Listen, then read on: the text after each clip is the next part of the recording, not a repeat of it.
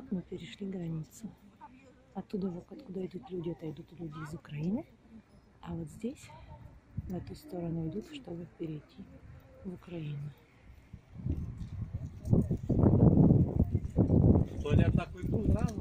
А в конце этой улицы там стоят маршрутки, которые везут в Перемыш на вокзал.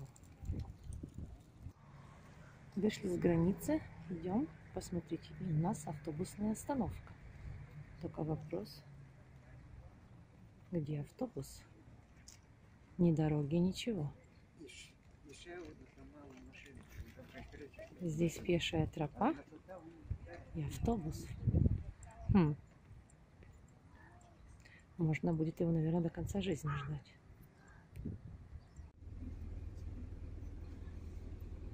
И вот мы сидим уже в польской маршрутке, которая завезет нас на вокзал.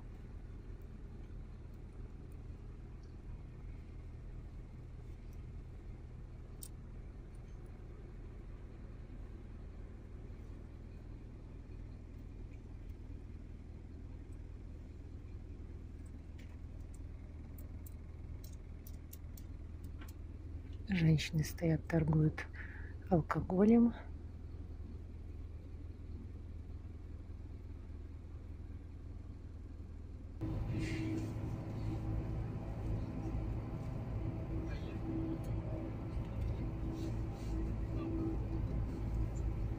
więzieniem w Paryżu.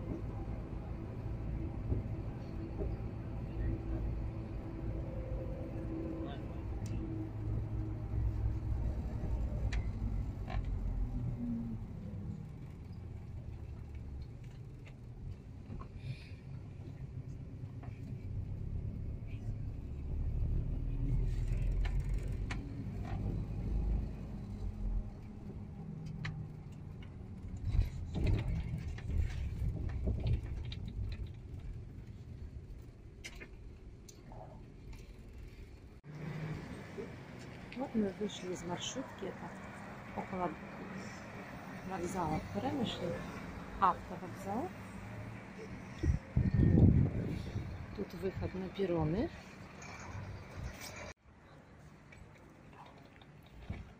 Вот это Перемышль. Улочки около вокзала. Такой довольно старый город. Посмотрите несколько мгновений, чтобы иметь представление, какой это городок.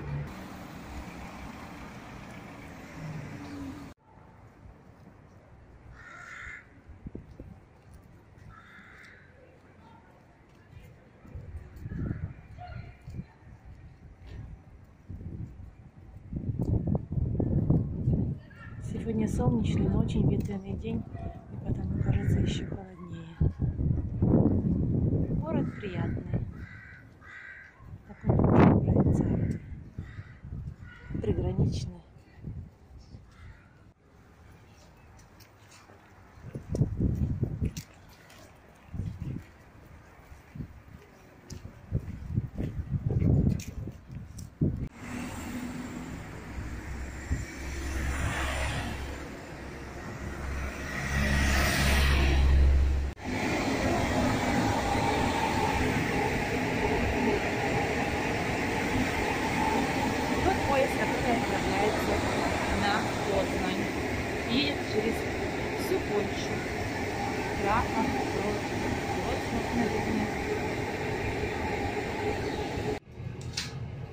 Мы находимся в Тамбуре.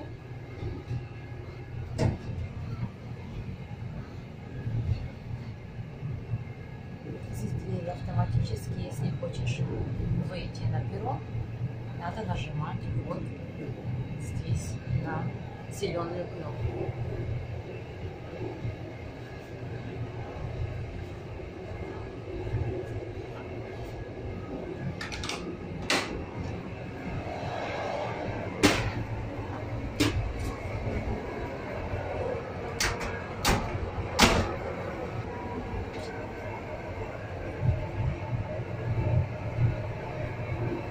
Такие чистенькие туалеты. Ну, не всегда они чистые, конечно. как попадешь, бывают такие, что вода в туалете просто горячая, в этом холодная. Но в сумме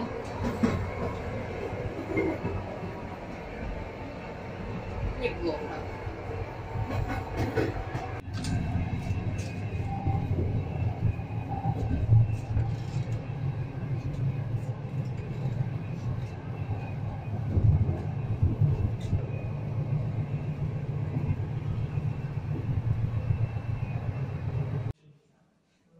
Это купе второго класса на 6 человек.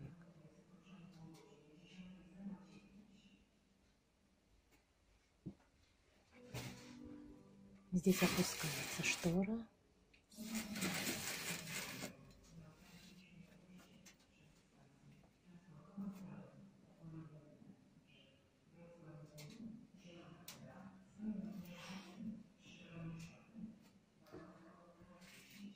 Здесь высветливается информация.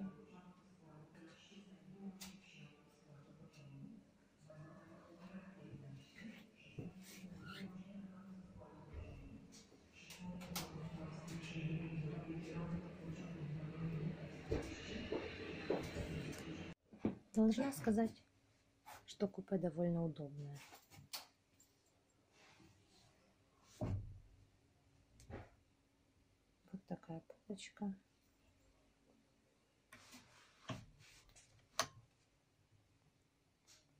Здесь розетка. Можно подключить компьютер.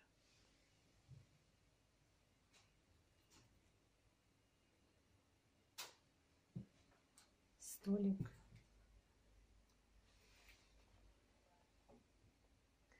Стульчик также. Сверху зеркало и место на багаж.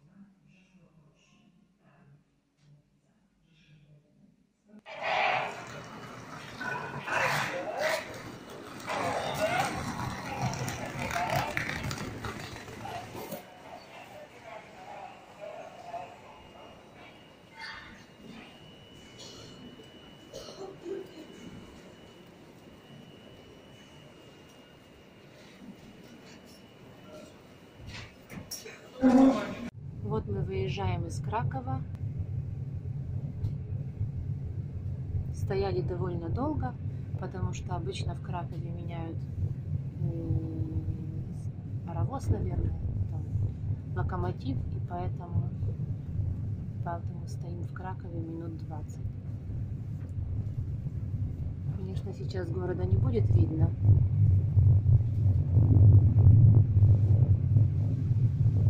только какая-то трасса.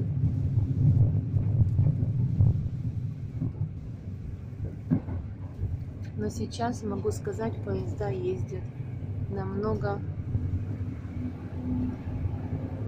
быстрее, чем это было еще пару лет назад, хотя ремонтные дороги тут еще проходят, но поезда уже едут намного-намного быстрее.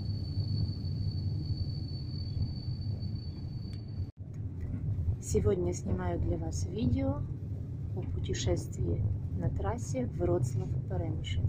Так что, кого интересует, оставайтесь. Я немножко расскажу о правилах железной дороги. Так что вперед вместе с нами. Добрый путь! Если кто-то э, будет путешествовать, то на э, поезда линии Интерсити есть скидки, если вы купите билет заранее.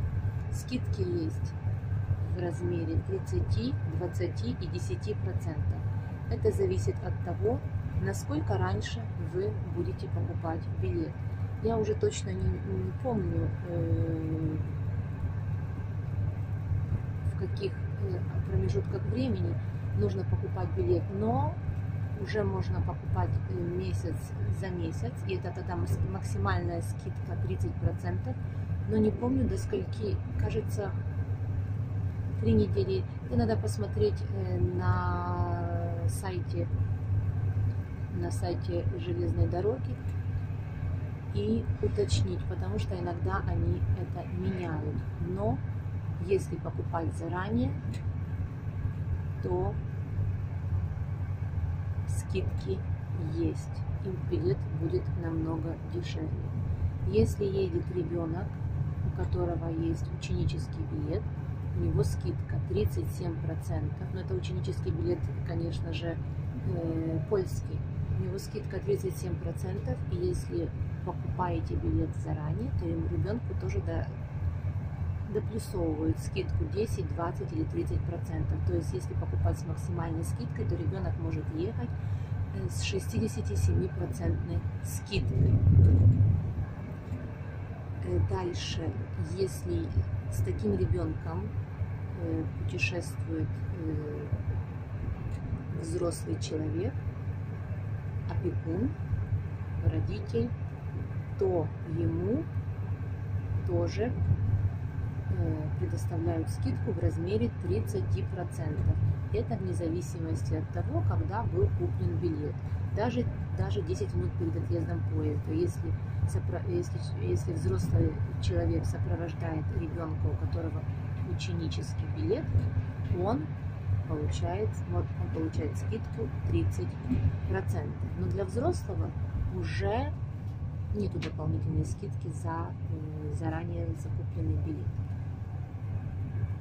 Еще несколько лет назад было такое, а в настоящее время уже для взрослых такие скидки не актуальны.